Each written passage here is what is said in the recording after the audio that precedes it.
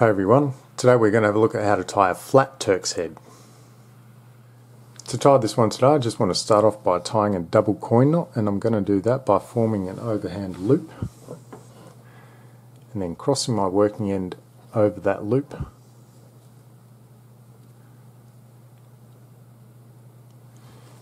And then bringing it underneath this section here towards the left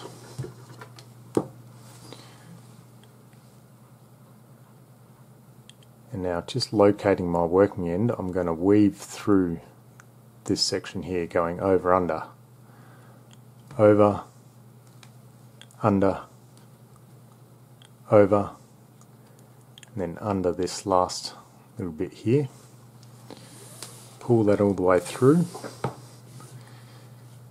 and that will form a double coin knot.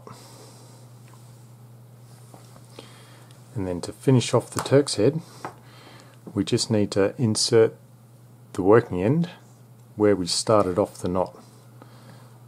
So just follow that exactly along here.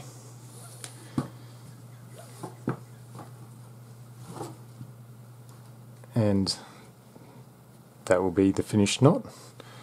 And then we just need to follow this lead around again two or three more times to make our mat. So if we follow this lead around again, we'll see it goes over here and under this next section we just pull that through. And again as we follow it goes over and then under.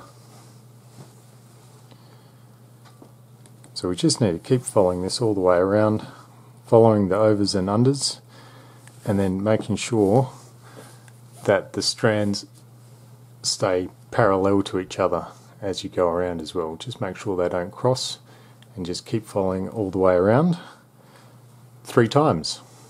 So once you've gone around three times, your finished Turk's head should look something like this. And if you wanted to make it into a coaster or something like that, all you'd need to do is just to flip it over and locate the ends where they enter and exit the knot and just cut them off and then glue these free ends into place.